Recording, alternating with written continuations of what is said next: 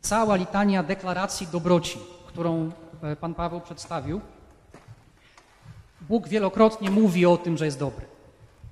Zastanówmy się przez chwilę. Jeżeli Bóg jest zły, tak jak rzeczywiście jest, jeżeli zsyła kłamstwa na proroków, jeżeli pozwala zwodzić szatanowi całą zamieszkałą ziemię, to jaki problem miałby zły Bóg kłamać na temat tego, jaki naprawdę jest?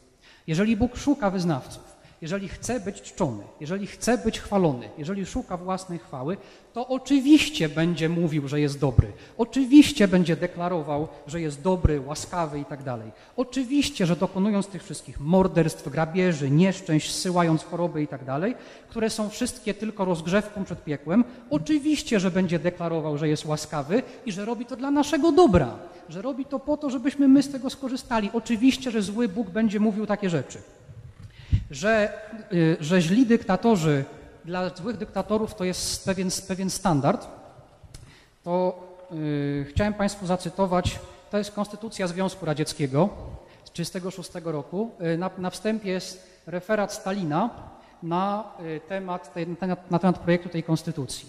I Stalin w, tej, w, w tym referacie mówi na przykład tak. Władza radziecka zniosła bez, jeden z największych zbrodniarzy wszechczasów. Co mówi o sobie? Władza radziecka zniosła bezrobocie, wprowadziła w życie prawo do pracy, prawo do wypoczynku, prawo do nauki, zapewniła lepsze warunki materialne i kulturalne robotnikom, chłopom i inteligencji, zapewniła wprowadzenie w życie powszechnego i bezpośredniego i równego prawa wyborczego przy tajnym głosowaniu obywateli. Co to oznacza? Oznacza to, że wyzysk człowieka przez człowieka został unicestwiony. Mamy teraz nową gospodarkę, która nie zna kryzysów ani bezrobocia, nie zna nędzy ani ruiny, daje obywatelom całkowitą możliwość dostatniego i kulturalnego życia. Jeszcze, jeszcze ciekawsza jest pod tym względem Konstytucja Korei Północnej. Proszę pozwolić na kilka cytatów. Artykuł pierwszy. Korea Północna jest niepodległym państwem reprezentującym interesy wszystkich Koreańczyków. Artykuł ósmy. System społeczny Korei Północnej jest systemem skoncentrowanym na człowieku którym masy ludu pracującego są panami wszystkiego, a wszystko w społeczeństwie służy masom ludu pracującego.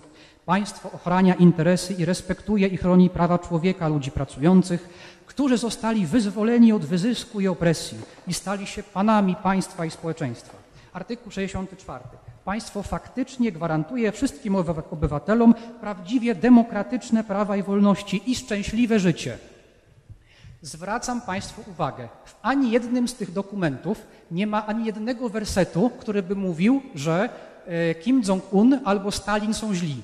Nie ma.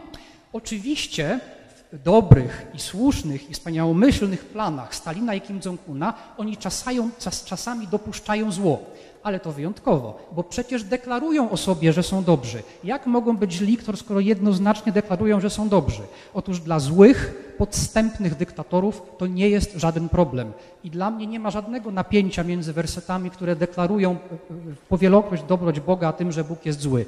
Oczywiście, ponieważ jest zły. Oczywiście, ponieważ jego ostatecznym celem jest przywabić jak najwięcej wyznawców. Oczywiście z tego powodu, podobnie jak Stalin, podobnie jak Hitler, podobnie jak wszyscy inni dyktatorzy, będzie się przedstawiał jako anioł światłości, jako ktoś dobry. Oczywiście, że tak jest. I wybór rzeczywiście należy do państwa. Czy zechcecie Państwo wierzyć czynom, czy zechcecie Państwo wierzyć słowom na poziomie dokumentów, które Państwu przedstawiłem? Dziękuję.